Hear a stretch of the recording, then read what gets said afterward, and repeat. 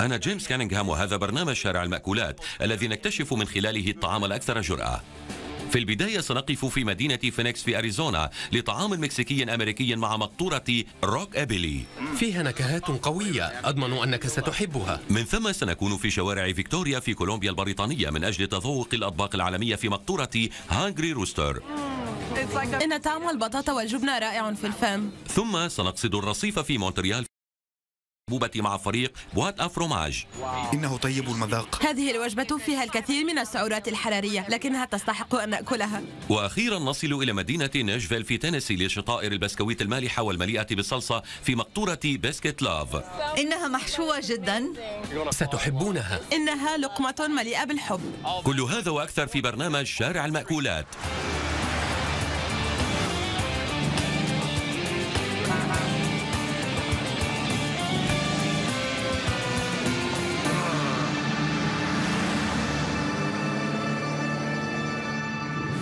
إن موسيقى الروكابيلي هي نوع من الموسيقى التي تمزج موسيقى الروك أند رول بالكاونتري وأنا معجب بها ومع ذلك أحب مقطورة الروكابيلي أكثر من ذلك. في مدينة فينيكس في أريزونا يقدم مالك هذه المقطورة جوردن موري الطعام المكسيكي الأمريكي على طريقته الخاصة. طعام يشبع معدتي. في مقطورة روكابيلي الشطائر والتاكوس هي في الصدارة وتشمل الوجبات الأكثر نجاحا شطيرة فيلادلفيا من لحم البقر بالجبنة. فيها الكثير من اللحم والفلفل والبصل وصلصة تشيدر البيضاء الحارة وطبق كاش تاكو بصدر الدجاج المسلوق في صلصة فلفل سيرانو. لذيذة جدا. أيمكنك أن تطلب لي شطيرة اللحم المقدد؟ شكرا. شكرا لك. الطعام هنا لذيذ جدا. من يحب روكابيلي؟ في هذه المقطورة نحن نخلط طعام الساحل الشرقي بطعام الساحل الغربي مثل التاكو. ماذا عسى أقول إنها لذيذة. نأخذ هذه الأشياء ونضعها في التاكو كما في الساحل الغربي ونسميها روك أو. إن شطيرة روك أو فعلا لذيذة.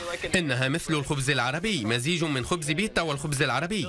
شطيرة لحم بالتاكو. عليكم أن تأتوا إلى فينيكس وتتذوقوا هذا الطعام. Chubby Checker لو سمحت. Chubby Checker. الآن سنعد التاكو المحشو باللحم ونحن نسميها شطيرة Chubby Checker. سنبدأ بصلصة كيسو بلانكو أو بصلصة الجبنة البيضاء. نضع القليل من الزيت النباتي ونضيف البصل والثوم. الفلفل الأخضر الحار والبصل الأحمر. وحان الآن الوقت لإضافة الكريمة والجبنة الطرية وهي من فيلادلفيا. ولدينا جبنة بيبر جاك وبعض التشيدر الأبيض وكل الفلفل والبصل المقلي.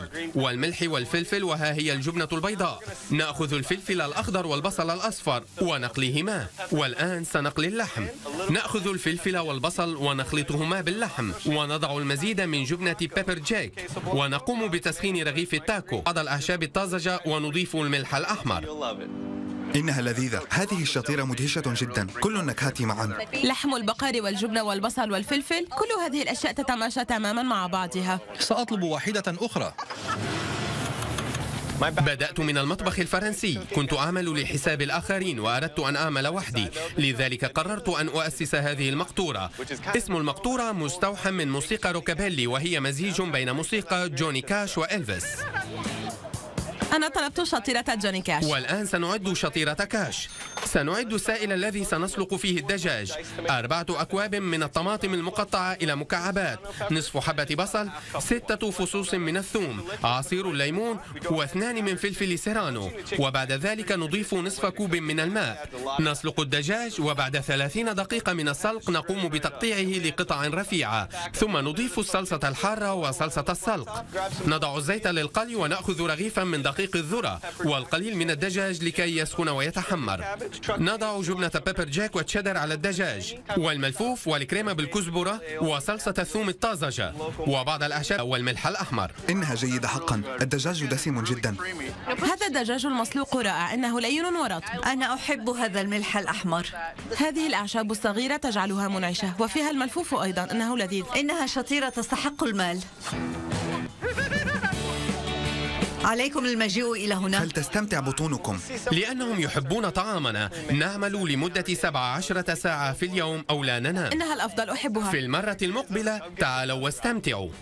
الناس يتساءلون لماذا تعبر دجاجات الطريق. إنني أعير اهتماما أكبر للمكان الذي تقصده كل هذه الديوك وبطة واحدة.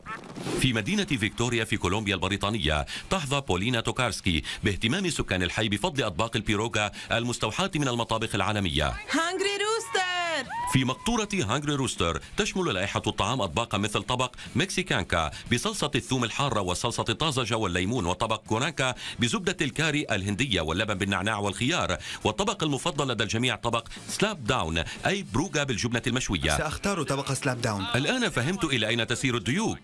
هذه الطيور لا دماغ لها. حسنا. سأعطيك عشرين دولارا. إنها المرة الأخيرة. مستعدون؟ معي طبق لكاثرين أفضل أطباق بروغا في العالم. Hungry Rooster يطلقون علي اسم أميرة البروغا طعامهم يسبب الإدمان. إن طعم البطاطا والجبنة رائع في الفم.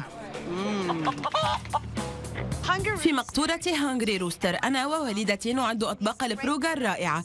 فيها الكثير من الحب والجبن والبطاطا. إنها وصفة من بولندا حيث ترعرعت وأنا أحب وضع المكونات اللذيذة عليها وهي من جميع أنحاء العالم.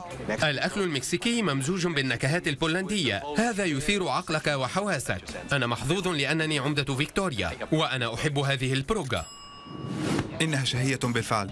سنعد البروغا هذه أمي جانينا إنها ملكة البروغا لإعداد العجينة نضع بعض البيض والحليب الملح والدقيق نمزج هذه المكونات. استخدموا اليدين. عليكم استخدام القليل من العضلات أيضا. نجعلها لطيفة ورقيقة. سنعطيها شكل دائرة صغيرة مثل هذه. وضعنا الحشوة ونغلفها وها هي البروغا بشكلها النهائي. البروغا المحلية الصنع؟ أنا لا أستطيع أن أفعل ذلك. أريد مكسيكانكا. سنعد الآن مكسيكانكا. إنها طريقة مكسيكية لإعداد البروغا التقليدية. معي هنا البروغا التي سنصنعها. سأضعها في السلة وأقوم بتقليتها. وها هي البروغا؟ قد أصبحت جميلة ومقرمشة أضيف الجبن المعتق المبشور صلصة الثوم وهي من المايونيز وعصير الليمون الطازجة والفلفل الحار. والآن سنضع صلصتنا الخاصة وفيها الطماطم البصل الملح القشدة الحامضة والكزبرة وحامض الليمون. والآن سلطة الملفوف والمايونيز. أعدها بالطريقة الآسيوية وها هو طبق مكسيكانكا. هذا جيد الصلصة طازجة وفي الطبق كمية مذهلة من النكهات. إنها إحدى أفضل سلطات الكرنب. هذا لا يصدق. إنني أحب كثيرا صلصة الثوم. فيها الحار بما فيه الكفاية. لقد نشأت في بولندا وأنا آكل البروغا. جدتي وأمي كانتا تعدانها كل يوم. وجئت إلى كندا وأردت أن أنشر حبي لأكلة البروغا ومنح هذا الطبق لجميع الناس في فيكتوريا. هذه القبعة هي جزء من الزي كالدجاجات والديك. نحن نلبس هذا الزي مع الريش وأنا أصنع القبعات بنفسي. أنا أحب صنعها وظننت أنه من الممكن أن أحضرها إلى المقطورة وأن أجعل الجميع يرتدونها. هذا هو طبق كورانكا اللذيذ. سنعد طبق كورانكا وهو الكاري مع البروغا. آخذ فطائر البروغا المطبوخة والآن سأعد زبدة الكاري الهندية. أضع البصل الثوم الزنجبيل الكزبرة الكمون واللبن والقشدة. اللبن بالنعناع والخيار القشدة الحامضة وبعض الكزبرة. سلطة الملفوف التي من صنعنا. في صحتكم. فيه الكثير من النكهات. يوقظ حواس الفم بفضل كمية التوابل والكاري. والنعناع أيضا لذيذ. لين. من الداخل ومقرمش من الخارج. أريد طبق سلاب داون شكرا لقدومك. ها أنا آكل طبق سلاب داون لقد قلتها. طبق سلاب داون هو الأكثر مبيعا لدينا. الخطوة الأولى هي أن نأخذ خبز العجين المخمر الجميل ونحمصه. نضيف صلصة الثوم التي أعددناها البصل المكرمل. اثنين من البروغا تتحمران هنا. فلنعد الطبق. ابتكرت طبق سلاب داون عندما طلب أحد أولادي أكل البروغا والثاني أراد شطيرة الجبنة المشوية. سلاب داون هي أفضل شطيرة بروغا ستأكلونها طوال حياتكم. إنها مليئة بالجبنة واللحم المقدد إنها فعلا لذيذة. أمر لا يصدق. لقد أكلتها كلها. صارت في معدتي ولكنها كانت جيدة. أكثر ما يهمني هو الزبائن إنهم يظهرون لنا الكثير من الحب والدعم. إنه لذيذ. شكرا على هذا الطبق. هذه البروغا هي الأفضل. أنا أحب تقديم الطعام لجميع هؤلاء الناس. نحن نحبك يا فيكتوريا.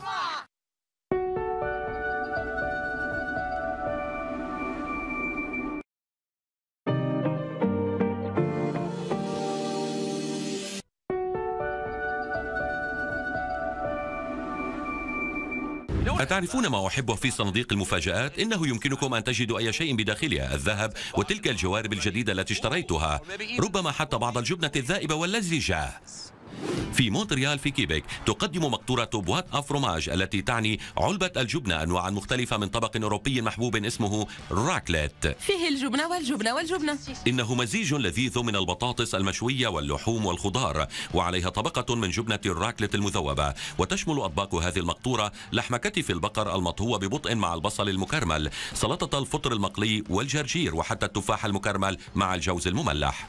رائعة. لونها ذهبي وهي لزجة. إنها الجبنة. مرحبا كيف حالك؟ أرحب بكم في مونتريال. أحبه. رائع. عليكم تجربة طعام Boîte à Fromages علبة الجبنة. الجبنة. راكلات هي من الأجبان القاسية وهي تذوب بشكل جيد. أنا أحب جبنة الراكلات إنها مميزة. البطاطا أساس جميع أطباق الراكلات التي نعدها لأنك مع البطاطا والجبنة لا يمكنك أن ترتكب أي خطأ. نذوبها على اللحوم والخضار أيضا. انظروا إلى هذا. إنه شيء مذهل. ماذا أقول يا لها من جبنة؟ إنها جبنة جيدة. شكرا لك بالعافية. قلب وروح هذه المقطورة هما في جهاز إعداد الراكلات لدينا آلة الشواء التي سوف تذوب كل الجزء العلوي من قالب الجبنة. يمكنكم أن تروا أن الجبنة بدأت تذوب. عندما أشاهدها وهي تضع الجبنة أتذكر عندما كنت في سويسرا. ما من شيء أفضل من هذا. بصحتكم. بصحتكم. داني؟ طلبت طبق راكليت بلحم البقر. طبق راكلت بلحم البقر. اسمي دومينيك وأنا طاه في مقطورة La Boîte à Fromages في البداية نضع قطعة اللحم التي تأتي من كتف البقر. نحتاج لقطع كبيرة. نضع زيت الزيتون ونحمر لحم البقر. أضع بعض الملح وأطبخ اللحم لمدة خمس دقائق من كل جانب. مرق لحم العجل الذي نعده نحن. والفلفل والزعتر الطازج وورق الغار والثوم. هذا جميل. أطبخ اللحم كما ترون لمدة ست ساعات. بات اللحم طريا جدا. سأضيف البصل المكرمل. يا لها من رائحة عظيمة. دعونا نبدأ بإعداد الطبق. أضع كمية كبيرة من لحم البقر والبصل المكرمل. والآن حان وقت الجبنة. إنه الطبق المثالي. وها هو طبق راكليت بلحم البقر. استمتعوا. الجبنة جميلة. قشرتها لا تزال فيها ولها طعم يتماشى مع البصل. البطاطا لطيفة ومقرمشة وهي أكبر من قطع البطاطا المقلية الفرنسية. عندما آكل الجبنة أشعر بالدفء. إنه طبق مذهل. أنا أحب الجبنة وأعرف الكثير عنها. أستطيع أن أقول إن الجبنة في دمي لأنني ولدت في عائلة من صانعي الأجبان. أنا في الأصل من فرنسا. منذ عدة أجيال تمتلك عائلتي مصانع للأجبان. إنها حياة مثالية. أحب الطعام وأحب الناس. هذا مزيج رائع. أنا طلبت طبق راكلات بالفطر. طبق راكلات بالفطر والجرجير. أول شيء سأفعله هو تقلية الفطر. وأضيف البصل الأخضر الجميل. والآن سر الوصفة الأعشاب المملحة على طريقة كيبيك إنها مالحة لها نكهة ترابية. أود أن أقول أن هذا هو أفضل جزء في عملي. إنه مثل الرقص. البطاطا الحمراء. أضع دائما طبقة أولى من البطاطا. التوابل السرية أشويها مع زيت الزيتون. لدينا هذا الفطر القليل من الجرجير. وآخر مكون جبنة الراكلات. انتبهوا يا رجال. ها هو. كأنني في عطلة في كوخ في الشتاء. طعم عصير العنب في هذا الطبق لذيذ. الجبنة دسمة بشكل لا يصدق وهي موزعة بشكل ممتاز على كل الطبق. إنها دسمة لكنها تستحق أن تؤكل. طبق راكلات جاهز التفاح جوز البقان البطاطا والجبنة. إنه مزيج ممتاز. أولا نضع الزبدة في المقلاة القليل من السكر لتليين قطع التفاح. ستصبح قطع التفاح طرية وحلوة. سأعد الكراميل. نضيف القليل من الزبدة وسكر القصب وبعد جوز البقان المملح وملح البحر ونعد الطبق البطاطا باتت مقرمشة. نضيف التفاح الذي أعددناه قبل قليل. جوز البقان بالكراميل. والآن اللمسة الأخيرة الجبنة. انظروا إلى هذا. ملوحة وحلاوة ولزوجة. رائع. النكهات الأولى هي بالتأكيد التي في التفاح. حلوة وقوية. أفضل جزء في الجبن هو القشر هذه. إن مزيج الحلو والمالح ناجح فعلا. إنه مذهل. أفضل جبنة.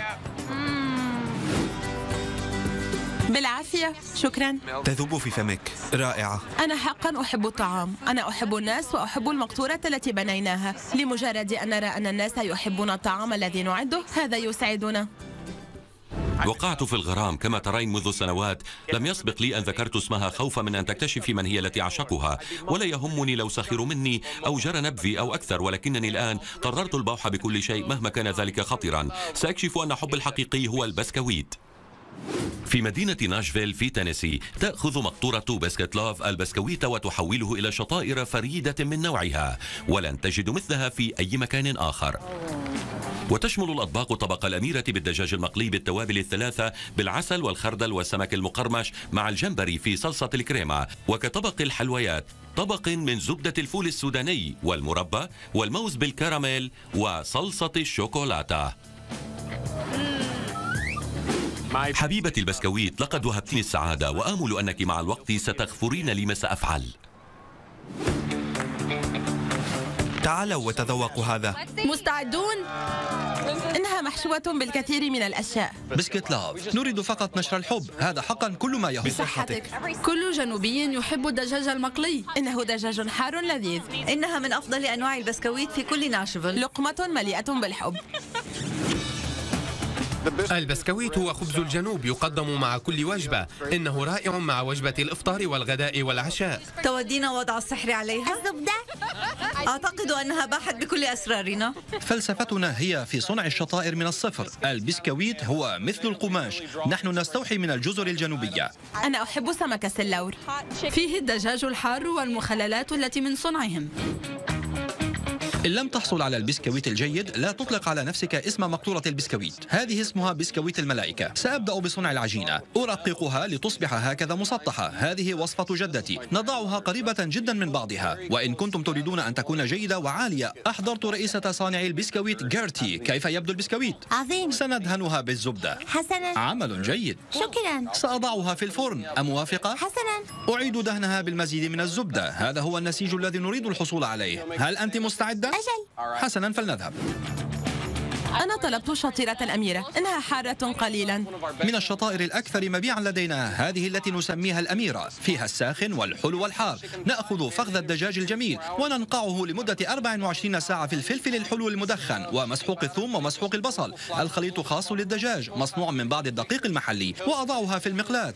ثم مع هذه الصلصة التي يتساوى فيها الزيت وفلفل كايان وتبدأ بالشعور بحماوة كل هذه التوابل. دعونا نبدأ بإعداد الشطيرة. نضع الدجاج لا نكثر من الصلصة. لا نريد أن نقتل أحدا ونضيف بعض العسل ونحن نعد الخردل الخاص بنا. نضع بذور الخردل والثوم مخللات الخيار بالشبت التي هي من صنعنا أيضا. وها هي شطيرة الأميرة. ستحبونها بالتأكيد. إنه مقرمش وفيه الكثير من السوائل. أحببت العسل والبهارات. عليك أن تأكل هذه المخللات لأنها تخفف من حماوة المكونات الأخرى. إنه مقلي ولم لن أحبه؟ نحن متحمسون جدا لكون الأصدقاء والأسرة في هذه المدينة. أنا من شرق ولاية تينيسي وقد كبرت وأنا آكل من هذا البسكويت كل يوم. زوجتي وأنا درسنا في مدرسة الطهو في دنفر. نأمل أن نكون قادرين على تقديم البسكويت للعالم. إنه شيء رائع. طلبت شطيرة سمك السلور. اسمها جونتي. شطيرة جون تي فيها سمك السلور المقلي ونضعه على البسكويت مع صلصة كريول. نضع أولا الزبدة والثوم والليمون والكريمة الدسمة وتوابل الكيجن. الفلفل الحلو وفلفل الكايان الزعتر. انظروا كم تبدو رائعة. نتركها على النار ونحضر شرائح سمك السلور الجنوبي. إنه رائع. جرى نقعه في اللبن وبعض توابل الكيجن لمدة 24 ساعة. أضع الشرائح مباشرة في خليط الدقيق والقليل من فلفل كايان والملح والفلفل. ونقوم بتقلية سمك السلور وضعت هنا الجامبري من نيو أورليانز. آخذ القليل من الصلصة وأترك الجامبري ليطهى فيها. وآخذ قطعة من سمك السلور صلصة الكريمة والكيجن بعض الجامبري وها هي شطيرة جون تي. إنه جيد جدا والقريدس ممتاز. صلصة بعصير العنب حلوة ومالحة في نفس الوقت. السمك طري والجمبري يضيف إليه نكهة رائعة أنا أحب هذا. هذه شطيرة جيرتي شطيرة جيرتي على اسم ابنتي. فيها كل ما تحبه في الحياة في شطيرة واحدة. سنعد الآن صلصة الشوكولا. أولا نضع الشوكولا والقليل من السكر والقشطة المخفوقة الدسمة. أترون كيف أصبح سمك الصلصة؟ دعونا نجمع هذه الشطيرة. زبدة الفول السوداني المحلية الصنع والقليل من السكر والملح وقمنا بخفقها. مربى الموز بالكراميل. سنأخذ من صلصة الشوكولا ومن الأشياء المفضلة لدى جيرتي فتافيت الكعك. وها هي شطيرة جيرتي اخترت شطيرة الموز بالكراميل. هي مذهلة. الشوكولاتة الغنية. يا له من مذاق لذيذ. الكثير من النكهات. أريد بعض الشوكولا. إنها لذيذة. أستمتع بذلك. هذا أكثر متعة بكثير مما كنت أعتقد أنه سيكون. كل يوم والناس يأتون إلينا يقولون لنا كم يحبون طعامنا. إنها تجربة مذهلة. أحبك يا بسكويت